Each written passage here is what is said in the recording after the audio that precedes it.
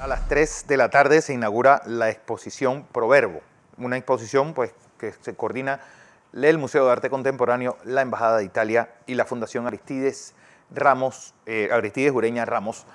Pues su eh, curador y coordinador es Chaco Martínez. Chaco, bienvenido a Next Noticias.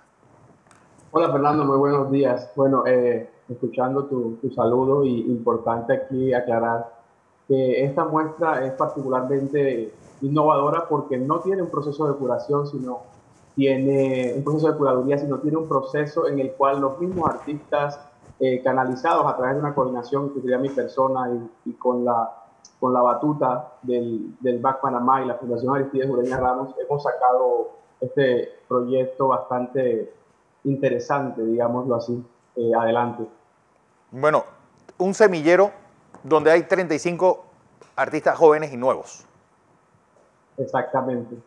Eh, el, tema del semillero es que se diferencia, por ejemplo, de un colectivo de arte en que son artistas emergentes en proceso de formación. Es decir, estamos en un, en un constante taller de experimentación para generar, digamos, procesos nuevos de pensamiento en la creación, elaboración de obras.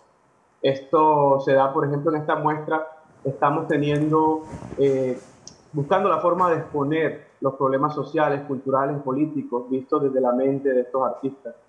Eh, es importante destacar que son personas que vienen de diferentes provincias, tenemos también de aquí de la, capital, eh, hay jóvenes, también hay algunos adultos, eh, pero aquí digamos que lo que, lo que lo que hace homogéneo el proceso es que sus prácticas no estaban enfocadas hacia el arte contemporáneo, sino hacia distintas otras disciplinas como la danza, la música, tenemos también diseño gráfico. Entonces son personas que tienen la vena artística y que desarrollan de alguna manera una actividad eh, de arte, eh, independiente de su carrera, o en algunos casos la misma carrera es la, es la de artes plásticas, pero que, que, queríamos a través de la Fundación Aristides Ureña Ramos eh, generar esa, esa, esa experiencia de, de, pensar y ver más allá cómo se investiga y cómo se está dando, digamos, la apertura de nuevos procesos en el arte contemporáneo.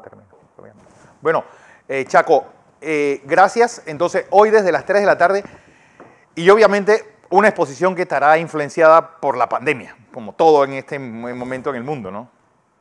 Exactamente, eso es algo importante a destacar. Me gustaría decir de alguna manera que prometí que son 15 artistas los que van a estar exponiendo, a pesar de que tuvimos un proceso grande, hicimos una selección de obras, eh, eh, algunas son procesos, otras la misma obra como tal, en presencia en el segundo piso, el Salón La Bóveda, del Museo de Arte Contemporáneo de Panamá, MAC Panamá. Estos artistas son Abigail Smith, Alba Garibaldi, Das Petit, Carlos Velázquez, Carlos Olives, Claudia Vivanco, Gianfranco Llorio, Jairo Vega, Jenny Rodríguez, Joaquín Carrizo, María Herrera, Mónica Polanco, Nidia Gaitán, Roberto Herrera, Herrera y Valentín Isabel prometí eh, nombrarlos y quería hacer énfasis en eso, pues son ellos los protagonistas de esta muestra.